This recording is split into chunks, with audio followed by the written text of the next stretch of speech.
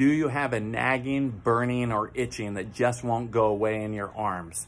If you do, there's a condition called brachial radial pruritus. And what that means is there's a sensory uh, interference between the brain and the arm, and, and the sensory input coming from the arm is telling the brain that your arm itches. Commonly, these people will scratch their arm while they're asleep and wake up and with blood and they aren't consciously controlling it because they're asleep and they're constantly itching. When they're conscious and awake during the hour, of course, they can um, withstand the urge to scratch, but when they sleep, they can't. And we've seen many of these cases over the years uh, helped tremendously by correcting the upper cervical spine misalignment.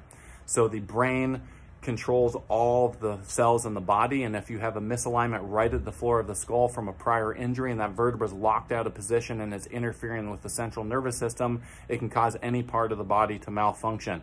And one of those things are these abnormal sensory inputs from different areas of the body. It can't, it's not always just the arm. We've had patients with chronic itching in the skin and the, in between the shoulder blades and in various areas, but the arms are the most important. So if you're someone who's suffering with chronic brachioradial pruritus or chronic itching in the arm or anywhere in the body, uh, it would be worth your while to check in out Blair Upper Cervical Chiropractic. These are doctors that specialize in correcting upper cervical spine misalignments with no twisting, no popping, no pulling. It's done with 3D imaging to very precisely ascertain how the structure is misaligned. And then the goal is to get the segment back in position to get the central nervous system to function better. And many times we find once that irritation is removed, these sensory uh, inputs that are abnormal start to normalize and patients improve with these types of symptoms.